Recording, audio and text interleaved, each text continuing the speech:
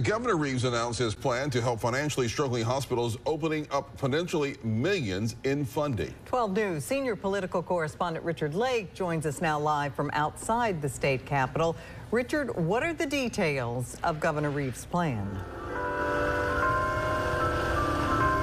Well, it's two changes to the Medicaid reimbursement plans that hospitals currently operate under. Governor Reeves says that these plans could bring an estimated 698 million more dollars into hospitals across the state.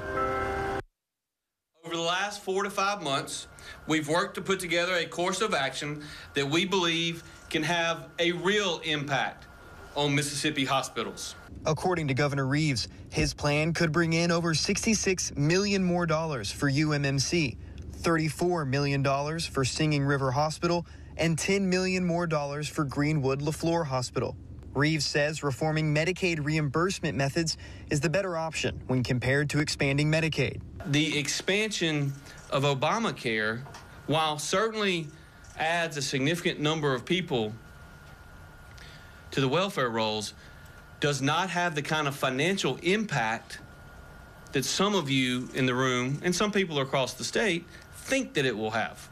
Mississippi state Democrats believe the plan falls short of the benefits Medicaid expansion could bring. And they take exception to making this announcement just 47 days before the general election. It's my estimation that it takes $800 million to really get this program to work.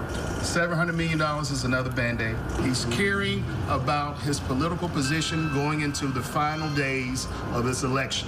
I've been governor now for three and a half years. Um, every time I get up here, I get criticized by somebody or some group. And every time that I get criticized, I tell all of you and I tell the people of our state, uh, we're up here today because this is what's best for the people of Mississippi. It is estimated that hospitals will have to spend $178 million before drawing down federal reimbursements. Now, this plan must first be approved by the Center for Medicare and Medicaid Services before taking effect. Governor Reeves is confident that they will approve the plan. Reporting live in Jackson, Richard Lake, 12 News.